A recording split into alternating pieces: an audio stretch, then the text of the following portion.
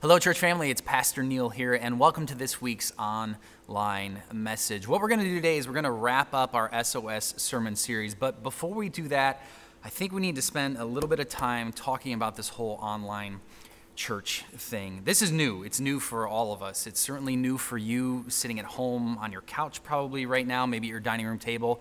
It's definitely new for, for me and your other pastors just trying to think about how we can connect to you, even though we're, we're apart. And so I've been thinking about this quite a bit uh, lately for lots of reasons. Uh, certainly, it's the majority of what it is that I'm doing right now, that all of your pastors are doing right now, trying to figure out this whole online church thing. But I've been thinking about it as well because it's just.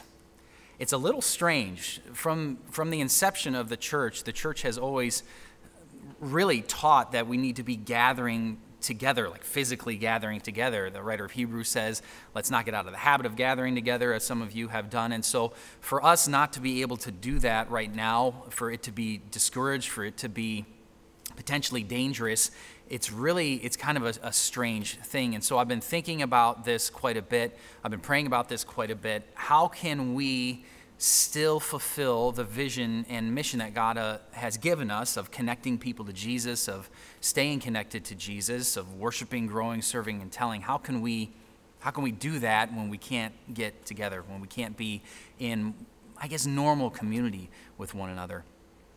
So I've been praying about this quite a bit. I've been thinking about this quite a bit, and I've been kind of digging through God's Word. And as God has always done, He, he, he led me to really start to examine the, the life of, of Paul, the Apostle Paul. And God's so good at always directing me in, in His Word. And there, obviously, Paul lived a lot of life. There's a lot of things that, uh, you know, Paul did in his life, but specifically, he led me to Paul's imprisonment. You see, Paul spent quite a bit of time in, in jail. He spent time quarantined, if you will. He was isolated, he was set apart. He, he wasn't allowed to have contact with the church body. And as I was reading that, I was, I was thinking about that, I thought that's, that's kind of how the majority of us feel right now, probably. Some of us are, are actually quarantined. We're, maybe we are sick and, and we're not leaving our house. Maybe some of us are kind of self quarantining. Uh, where you know we're just we're trying to be really cautious and consider our family but consider others as well and all of that can lead to this feeling of imprisonment if you will and ohio is is tough enough. Like we're just coming out of the winter season. And because it's cold, because it's been snowy, and we've had a good winter. Don't send me emails like, it's been a great winter. I, we have had a good winter, but it's still winter. It's still cold outside. And so I've noticed it a lot since I've had a little one who just stares out the window like longing and wishing to be outside. And then when we drive by the park, he's yelling, Park, park. And we're like, no, no, like it's disgusting outside. So we've already kind of feel like we've been in prison for several months because of the weather and now all of a sudden, we, we're not supposed to be around one another to help stop the spread of this corona, coronavirus. So, what are we supposed to do? How can we fulfill this vision and mission? Well, I want us to go to Acts chapter 16. There's this uh, section of scripture in the book of Acts, um, and it's just a it's a crazy it is a crazy story about the apostle Paul and Silas. And so, if you have your Bibles, go ahead and open them up to Acts chapter 16. You can read along with me here, and I'm I'm using the uh, New Living Translation. It's the NLT version. A mob quickly formed against Paul and Silas, and the city officials ordered them stripped and beaten with wooden rods. They were severely beaten, and then they were thrown into prison. The jailer was ordered to make sure they didn't escape. So the jailer put them into the inner dungeon, clamped their feet in the stocks. And around midnight, Paul and Silas were praying and singing hymns to God, and the other prisoners were listening. Suddenly, there was a massive earthquake, and the prison was shaken to its foundations. All the doors immediately flew open, and the chains of every prisoner fell off. The jailer woke up to see the prison doors wide open, and he assumed the prisoners had escaped, so he drew his sword to kill himself. But Paul shouted to him, Stop! Don't kill yourself. We are all here. The jailer called for the lights and ran to the dungeon and fell down trembling before Paul and Silas. Then he brought them out and asked, Sirs, what must I do to be saved?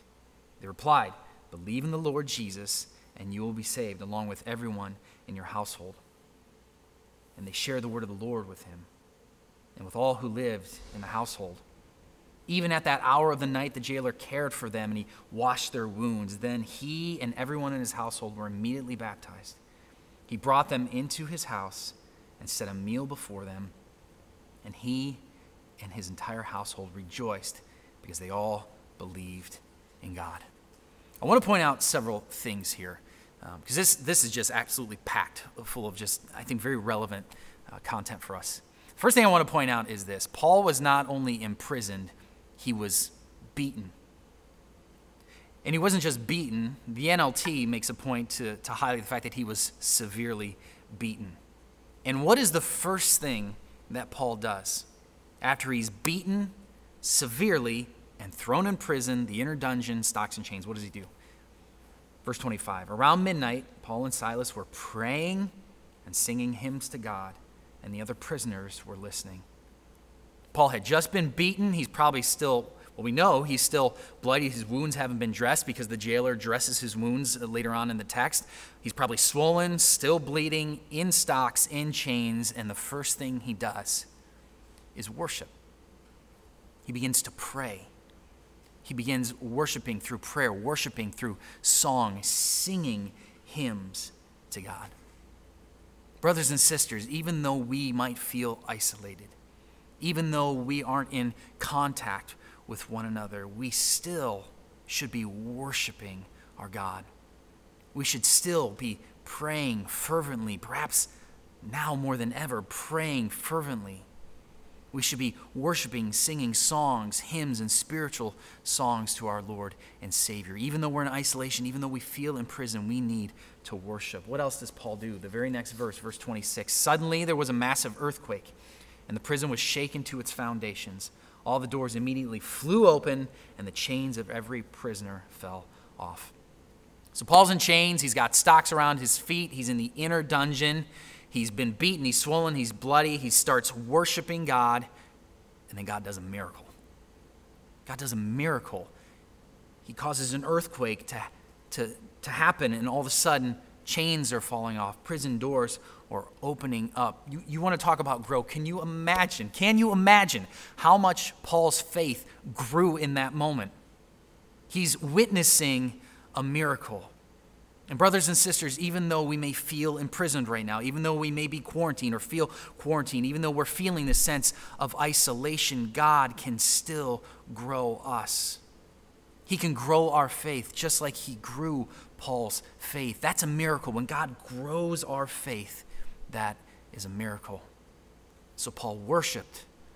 Paul grew. And what else did Paul do? Look at the next couple of verses. Verse 27 The jailer woke up to see the prison doors were wide open.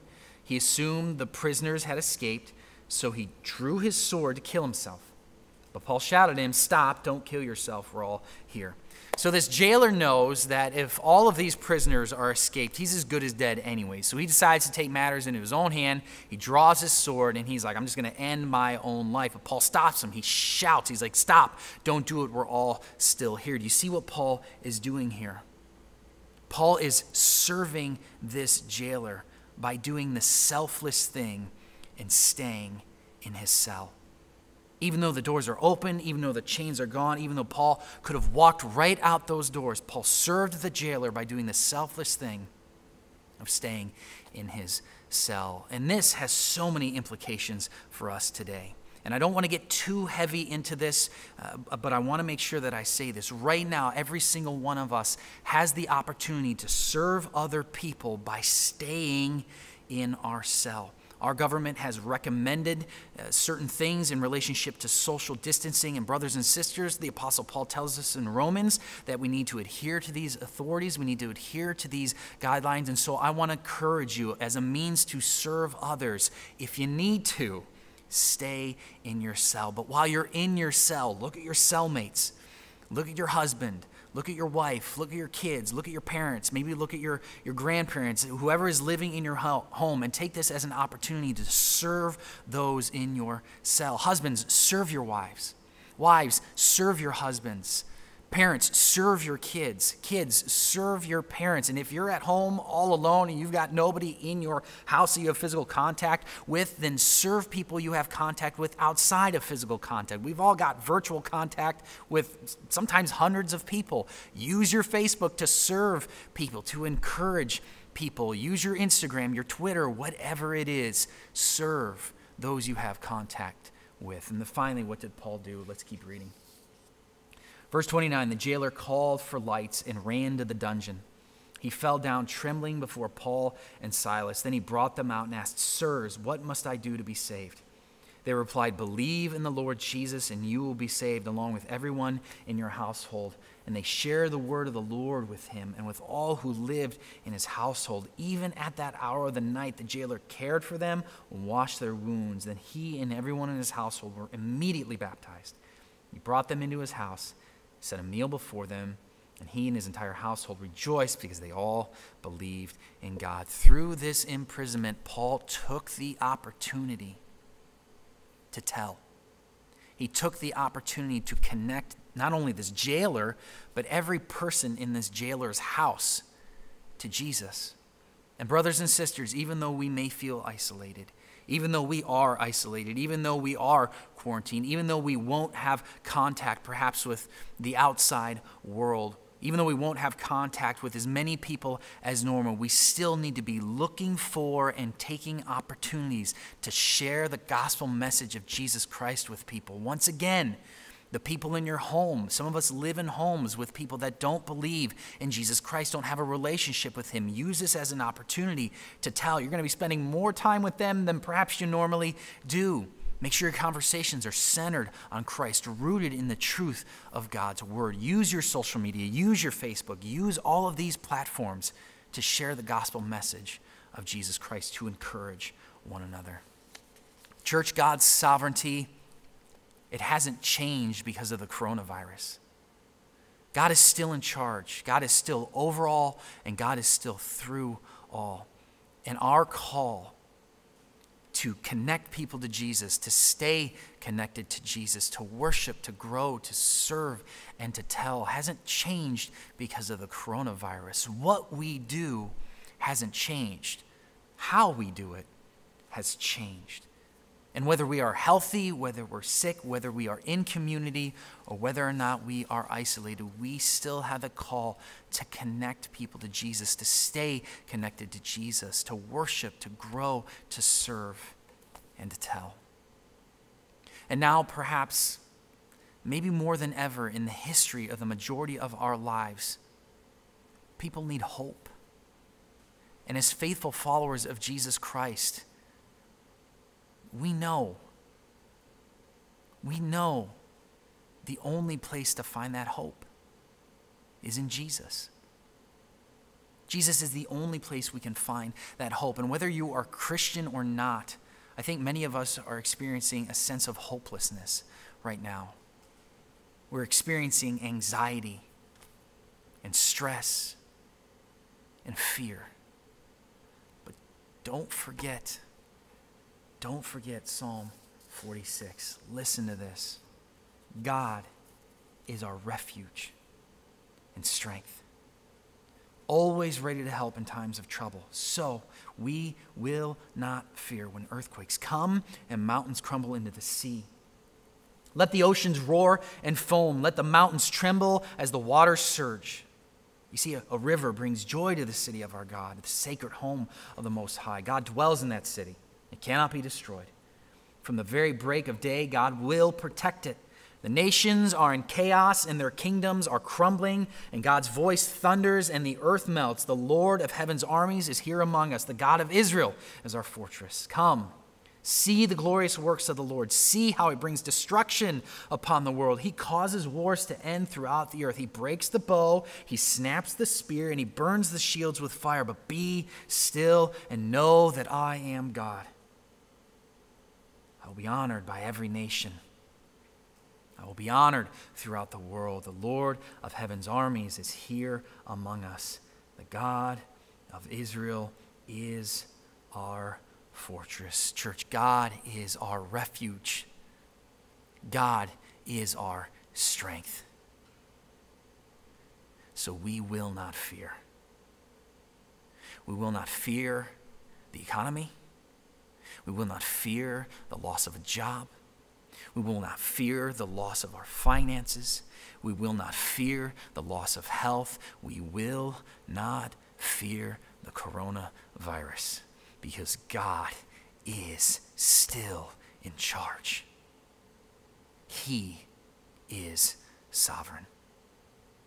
So, as the writer of Isaiah would say, so take a new grip with your tired hands. Strengthen your weak knees and put your hope in Jesus Christ, the author and perfecter of our faith, the Alpha, the Omega, the beginning and the end, the creator of all things, the God Almighty, the God who was, the God who is, and the God who is to come. Amen. Hello, friends. I'm Pastor David, and I wanted to thank you so much for joining us online today. As we continue to navigate what it's like to have church from home, I kept going back to our mission and vision here at Hope of connecting people to Jesus. And one of the ways we do that is by worshiping. When we worship, it's so much more than just singing. We are sitting before the Lord with a posture of surrender. There is a peace that overcomes us when we spend time in the presence of the Holy Spirit, and I know that peace is exactly what we need right now. So, this week we wanted to lead you and your families in worship because God is good, God is worthy, and there is comfort in our praise. The words in these songs are a battle cry in such a time of distress. Psalm 59 16 says, As for me, I will sing of your power. Each morning I will, will sing with joy about your unfailing love for you have been my refuge, a place of safety when I'm in distress. So, as we sing today, I encourage you to worship in your homes, however that may look, and let us find comfort in our praise as we worship our Lord who is faithful.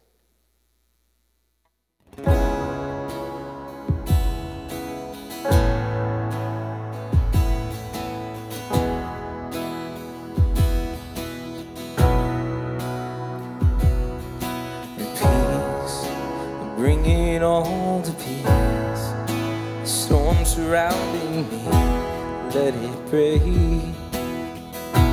At your name, still call the sea to still, the rage in me to still every way. At your name, Jesus, Jesus. You make the darkness tremble, Jesus, Jesus.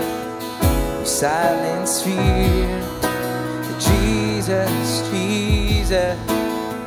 You make the darkness tremble, Jesus, Jesus. Breathe, call these bones to breathe, call these lungs to sing once again. And I will praise,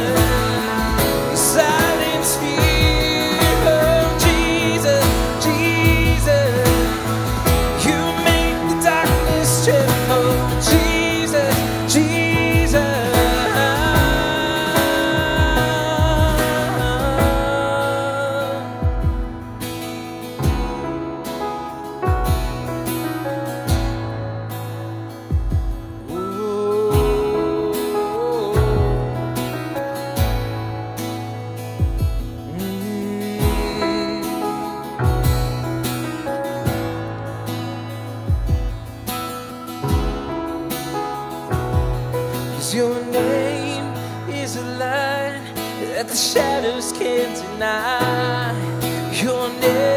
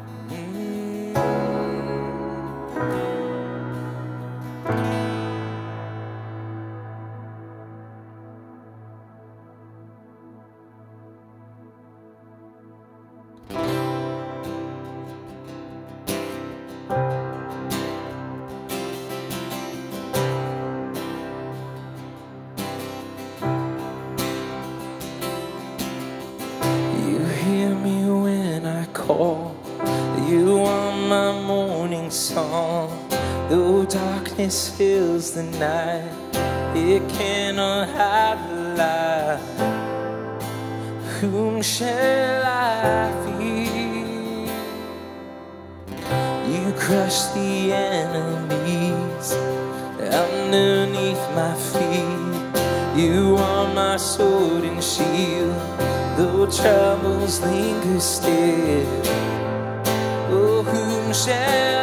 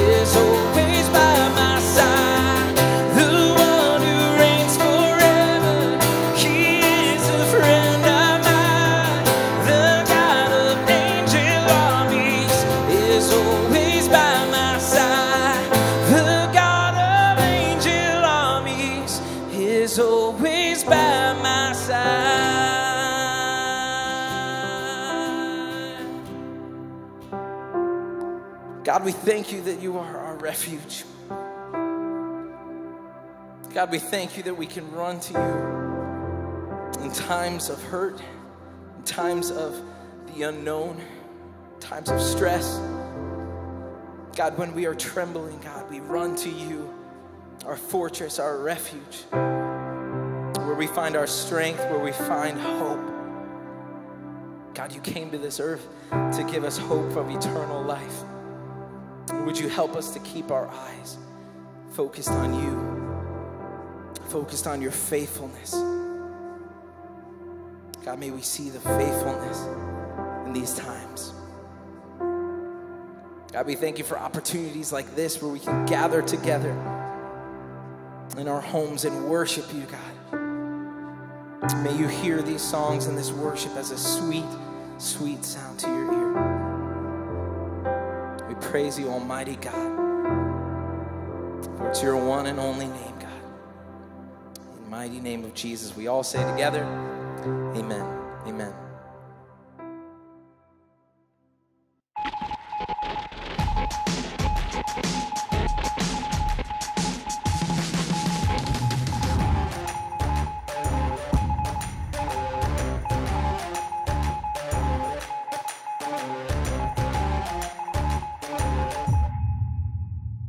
Today we're going to be wrapping up our SOS sermon series. And what we've been doing in this series is we've been talking about how we can and should be choosing our Savior over our sin. And seven weeks ago, when we were all still friends and hanging out, uh, we handed out some of these SOS bracelets, and they say Savior over sin on them. And I know it's been several weeks since we've done a bracelet check, and you might be thinking, well, it's a little silly to do a bracelet check now because we're all at home in our pajamas and we don't have our bracelets on. It doesn't matter. We're still going to do a bracelet check, and the reason we're going to do this is because we put cameras in all your houses. We had no, that's not true. Uh, although we do have your addresses. Um, let me. This is strange uh, because no one laughs. No one's laughing uh, right now. And when you make jokes on a Sunday morning, uh, people laugh. And, and, some of you are thinking we wouldn't have laughed at that anyways because it's just not funny.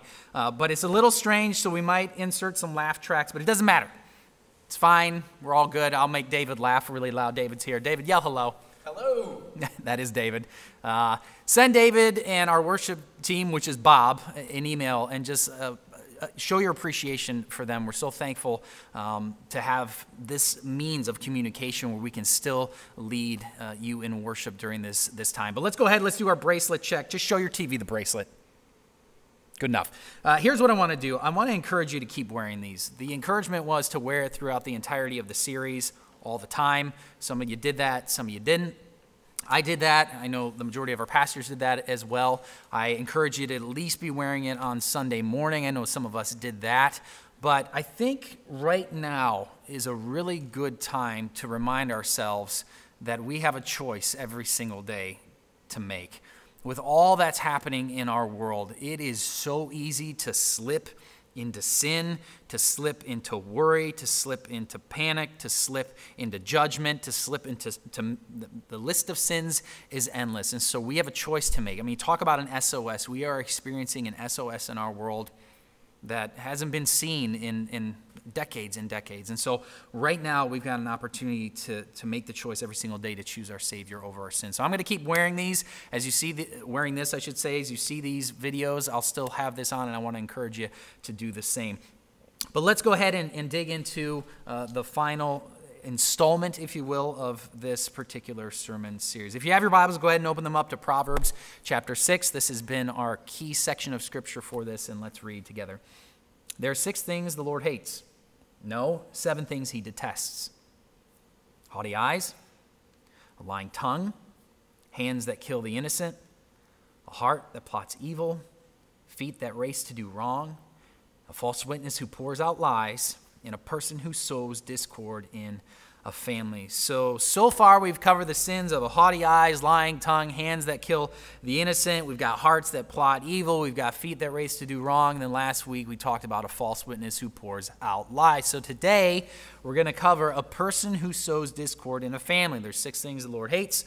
There are seven things he detests. A person who sows discord in a family. Now, in order to really understand what Solomon is talking about here, we, we need to take a closer look at two words in this verse, two words in verse 19. We need to examine the word discord and the word family. The other words in the verse, I think we've got a pretty good understanding of. Like, we know what a person is, and we know what sow means, even though the majority of us aren't farmers. Maybe some of you have planted a garden at some point in your life. But even if you haven't, you still know what the word sow means. It, it means to, to plant, to spread, to scatter, and this idea of seed. So we need to talk about these two words discord and this word family. So let's start with the word discord. What does discord mean? Well, just like we talked about at the beginning of the series when we talked about haughty eyes and how the word haughty isn't a, a, word that we often use in our world in our normal conversations, it's the same with this word discord. I've, in fact, I don't know if I've ever heard anybody use the word discord in, in, just a normal conversation. Like nobody's like, my goodness, that person's sowing quite a bit of discord. Huh? Like that just doesn't that doesn't happen in the circles that I I run in. So what does this word discord mean? Well, discord can mean a lot of different things. It can mean conflict, it can mean strife, it can mean trouble, it can mean tension. But I think my favorite definition of the word discord, and one that I think maybe fits best with what Solomon is trying to communicate here, is this discord. What is it? Discord is a lack of harmony.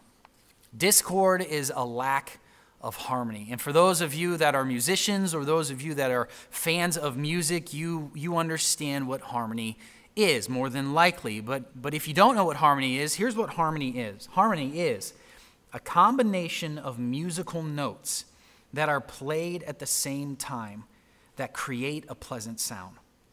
Harmony is a combination of musical notes that are played at the same time that create a pleasant sound.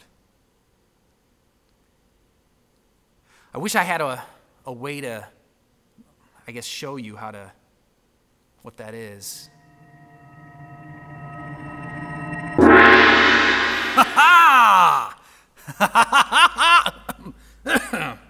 Excuse me.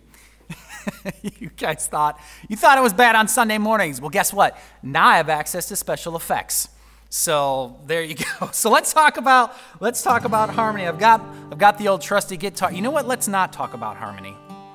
You know what I'm gonna do? I'm just gonna play a I'm just gonna play some original music for you right now. Yeah. It's a song off my latest record called Songs of Food. This is a song I wrote called Pizza. Ooh, I love pizza. Ooh, I wanna eat you. No, I'm kidding. That's so stupid. All right, let's give you. A, I'm gonna give you a quick and basic theory lesson. This is a G chord. A chord is made up of a series of notes, a combination of notes. This is a G major. A G major consists of speaking intervallically. You've got a root note, a G, you've got a major third, that's a B, and then you've got a fifth. That's a D. If I want to make it a minor, I flat the third, and that's what you have. So, within the major scale, I can play any of those notes within the major scale and add them to this chord, and it's still going to be a pleasant sound. And And that sounds pleasing to us. Even if you're not necessarily a musician, you kind of understand that this sounds pleasing, right? But if I if I change it, if I add a note in this outside of that major scale, for example, if I take the G and I sharp it, I move it a semitone up, all of a sudden that harmony changes. Here's what it sounds like. Ready? Here's the G major, and then here is the lack of harmony. Ooh, I love pizza. Ooh, I want. It sounds terrible. Even if you're not a musician, you know that sounds terrible.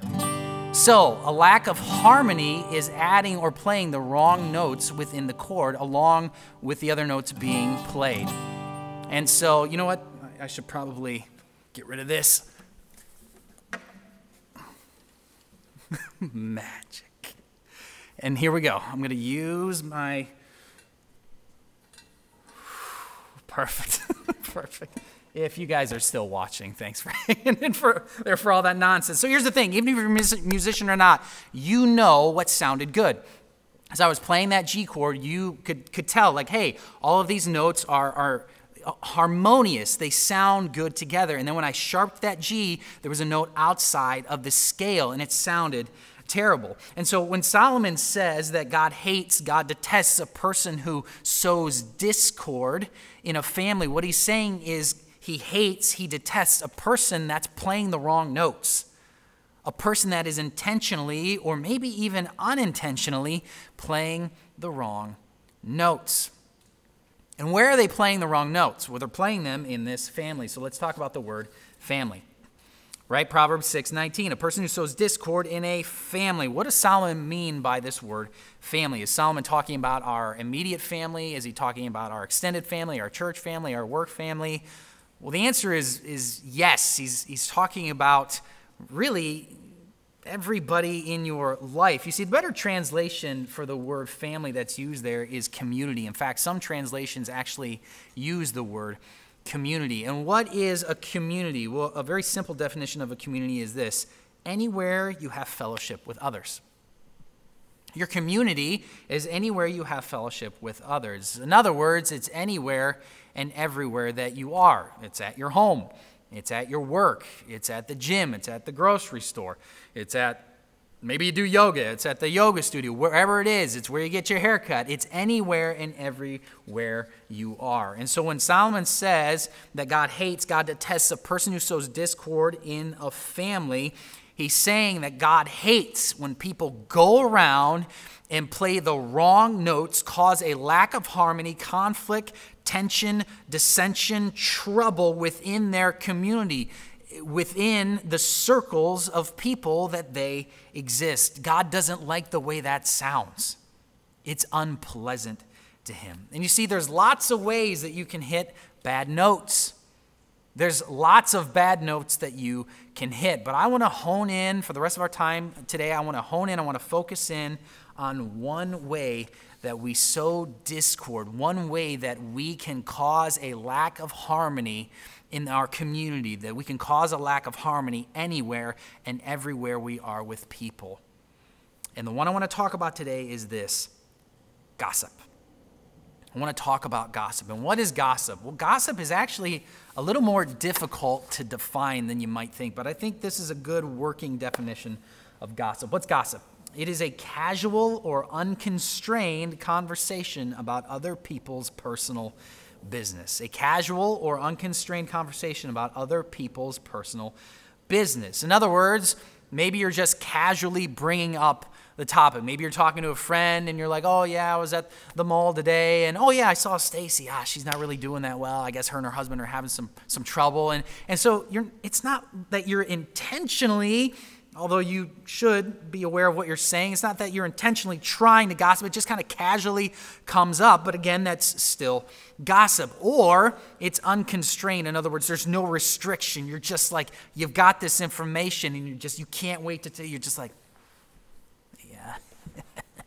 you are about Stacy? Yeah. yeah and their old man having a little problem. Ooh, got some good juice, right? And so you're you're unrestricted. You're intentionally trying to do this. And here's the thing about gossip: the majority of people don't gossip to encourage the people they're speaking to or speak positively about the person they're speaking about. Most of the time, gossip has this negative connotation. We want to share this information because we're we're trying to have people form an opinion of another person or maybe we're sharing this information because we just we we got to get in the middle of the drama right we just we've got it and it's just it, it, it's hot and i think this sin of gossip is one of those sins in our life that as Christians, as faithful followers of Jesus, like we know, we know the sin of gossip is, is wrong. We know we shouldn't do it. We know the Bible says don't gossip. But it's one of those sins where we're like, yeah, I mean, is it really that? Is it really that bad? I mean, it's not like I'm murdering somebody, right? I'm not killing anybody over here. I'm just doing a little bit of gossip, right? Uh, but here's the thing listen to Romans 1 starting in, in, verse 28, he says, Since they thought it foolish, and there's a lot before that you may want to read, give it a little bit of context. I'm not going to do that today, but it still applies. Since they thought it foolish to acknowledge God, he abandoned them to their foolish thinking and let them do things that should never be done. And then pay attention to this.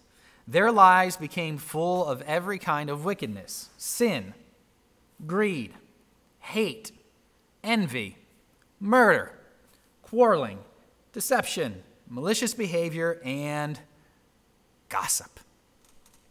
Did you catch that? Gossip is in the same list as murder. Yet, the majority of us, I would say, probably not too many of us, I would say, when we start a conversation, do we take a step back and think, huh, is this gossip? Am I about to share something about somebody else.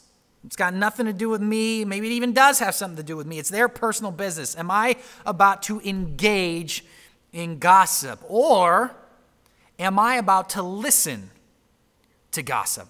Because you see, listening to gossip is just as bad as being the gossiper itself. Listening to gossip is still participating in gossip. But it's really tough, isn't it? It is. It is really tough to stop somebody if they're about to gossip and you're about to listen. Why? Because it's so good. Oh, man, right? Gossip is just so, it's so juicy. Just, oh, I've been dying to know about Stacy. I know, I know you know something about Stacy. And so sometimes we'll even, we'll even set the ball, so to speak, and somebody comes down and just spikes it for us, and we're like, ah, so, um, how's Stacy doing? Have you heard anything about Stacy? And then you're just like, come on, give it to me right? And then the person's like, "Oh yeah, man, you hear about Stacy? I got some juice for you." It's it is it's like a drug for some of us. We just have to have it. And see, the Bible knows how good gossip is. Listen to Proverbs chapter 18. The words of a gossip are like choice morsels. And when I think of choice morsels, I think of Nestle morsels, which, my friends, are very choice. And right now, there's somebody sitting on the couch going, I don't really like chocolate. And you know what? Stop watching. No, kidding. Please keep watching. Listen, Proverbs 18, the words of a gossip are like choice morsels. They go down to the inmost parts. Proverbs 26, the words of a gossip are like choice morsels. They go down to the inmost parts. Did you catch that? This is a rare occurrence in God's word where the exact same words are in the exact same order, in the exact same book, but in different chapters. And what does it say? What does it say? There's it says that the words of gossip, gossip is like a choice morsel. It just, it's, we crave it, we desire it, and man, does it go down smooth. But the Bible speaks directly against gossip, not just being the gossiper, but listening to gossip. Listen to this Proverbs 20. A gossip goes around telling secrets, so don't hang around with chatterers. A gossip goes around telling secrets, so don't hang around with chatterers. The Bible says if there is a person in your life, if there is a person in your life that is a gossiper, every time you hang out with them, it just seems like they start to gossip. And, and maybe, again, you're not the one gossiping, but you're listening. If there is a person in your life that does that, don't hang out with them. Stay away from them. That's what it says. Don't hang around with chatterers. We need to be avoiding gossip. We need to be avoiding listening to gossip. But what if we are the gossiper? What if we are the person that just goes around telling everybody's business to everybody else? Well, here's the thing God hates that. God detests that as well. It's unpleasant to him. And it's unpleasant to him because you are going around sowing discord, causing a lack of harmony, playing the wrong notes in the community that God has placed you, in the family that God has placed you, in the home that God has placed you, in the place of business that God has placed you, the gym God has placed you, at the grocery store, you are causing a lack of harmony. And I'm going to take it one step further because the Bible takes it one step further. If gossip is a pattern of sin in your life, that is an indication, and this is a strong statement, that is an indication that the Holy Spirit of God may not be in you. And I know that's bold, but listen to what James says. Don't just listen to God's word, you must do what it says. Otherwise, you are only fooling yourselves. For if you listen to the word and don't obey it, it is like glancing at your face in a mirror. You see yourself, you walk away, and you forget what you look like. But if you look carefully into the perfect law that sets you free, and if you do what it says and don't forget what you heard, then God will bless you for doing it. Listen to this. If you claim to be religious but don't control your tongue, you are fooling yourself, and your religion is worthless. Church, you can't control your tongue and gossip at the same time.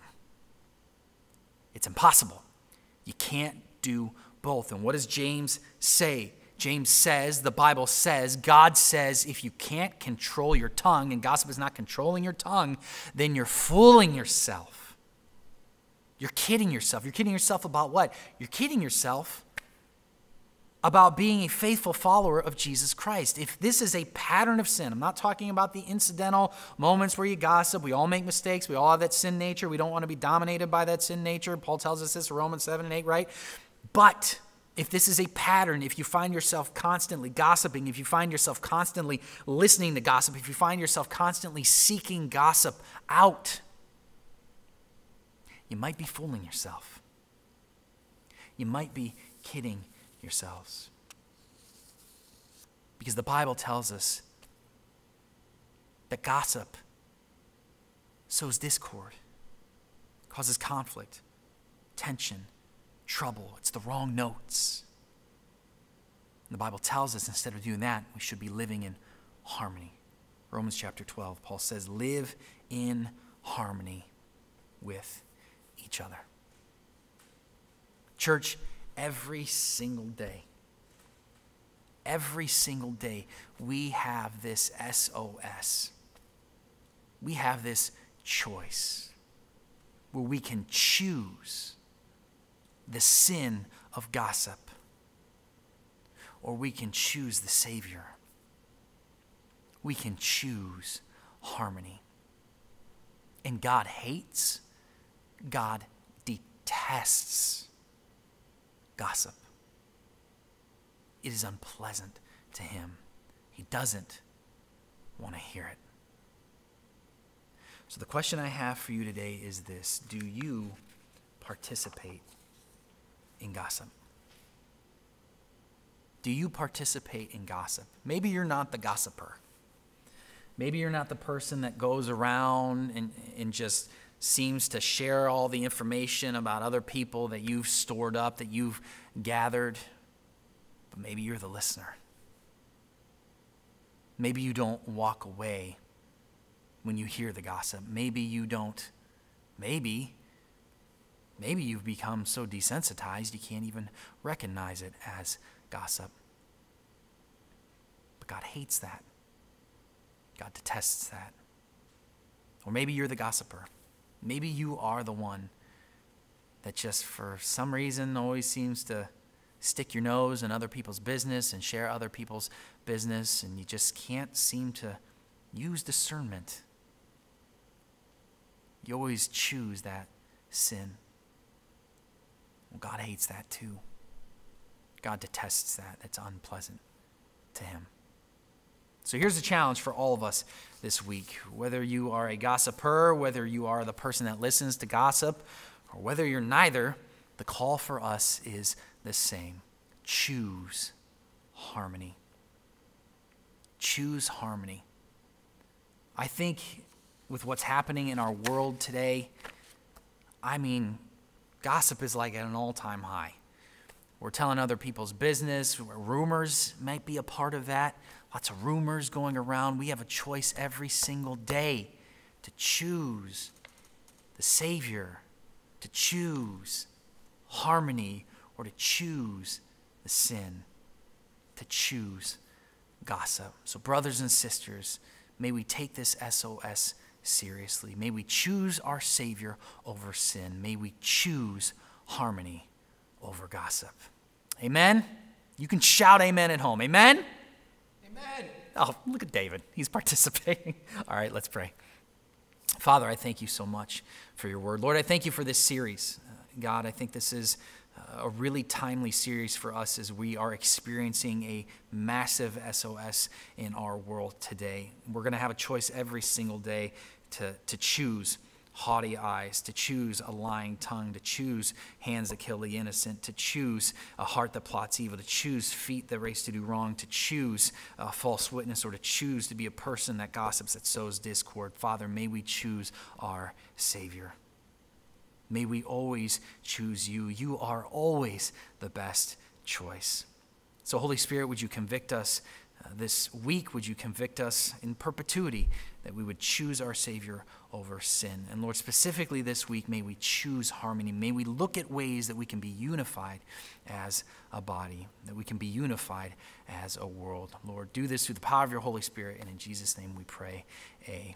Amen. Church family, I love you all. I miss you all like crazy. We are so looking forward to being together with you. Hopefully soon. Uh, we are we are desiring that. We do have some amazing and some really exciting things coming your way. I'll give you just a little sneak peek. We've got a new website design that's coming. It's called Hope Online. We're going to have all kinds of resources, all kinds of content for you. Uh, we're going to be giving content to you every single day. I don't want to say too much, but we are working tirelessly to make sure that we are staying connected to you so that we can can help connect you to Jesus Christ. Don't forget to subscribe to our YouTube channel, to follow us on Facebook, follow us on Instagram, and then go to the church website and look for updates. We will hopefully see you soon and have a great week.